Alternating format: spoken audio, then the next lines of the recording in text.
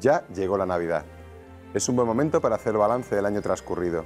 El 2019 ha sido un buen año para la ciudad, pero lo mejor está por llegar.